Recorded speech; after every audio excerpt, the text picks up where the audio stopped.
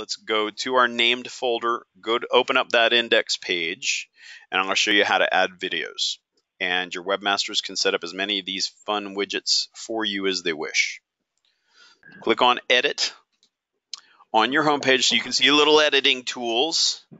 And let's add over in the bottom left hand side, you'll see underneath that uh, subnav, you'll see a little plus hand to the left hand side. We haven't added content here yet.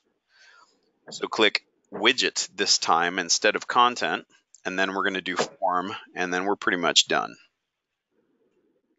So add widget, and then the type of widget that I want you to add, please select. Now let me, if you lost me, let me go back on your page, click this little plus sign on the left-hand side, go to widget, right?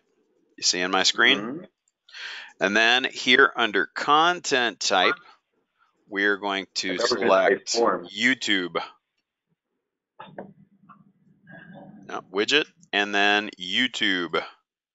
And once you select YouTube, go ahead and select this one here, although you could add new, um, or you can select this one, Amazon Echo Part 1.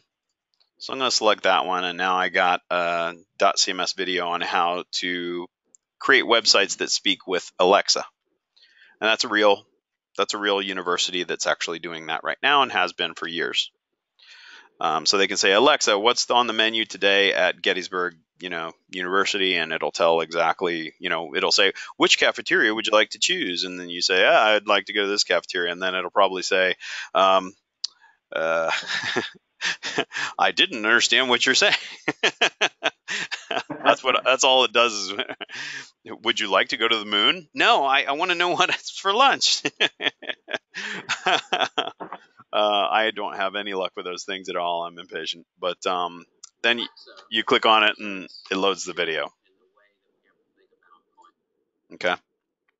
Now you also get that cool functionality that if I want to click on the little equal sign and I want to drag that movie over here, it's going to show that movie in the full screen, you know, uh, matching that container because both of those containers do allow that movie.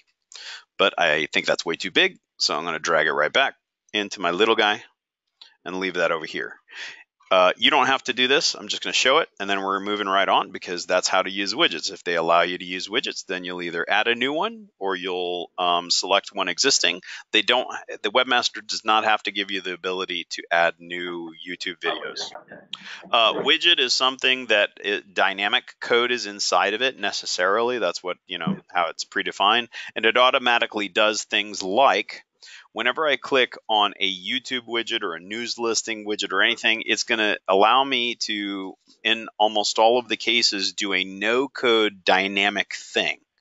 The rest of the content we're placing like a movie. It's just putting one movie. We type in the fields. This is uh, no code dynamic pull of whatever we want from outside dotCMS or from inside dotCMS. So if I did news listing, I would be pulling from inside of dotCMS. If I click on YouTube, I'm going to search for YouTube for one of my videos. I'm going to search for that inbound marketing video on YouTube and pull it right in here.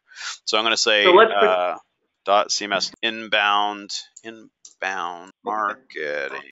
Click search, and it's going to find the rules and targeted personalization dotCMS and here's the inbound marketing that's got my recipe video. So i just click on it and it's smart enough not only to go to youtube and pull down the video but it also populates the length of the video the author the title of the video the thumbnail the published date and the youtube url i could just click save and publish.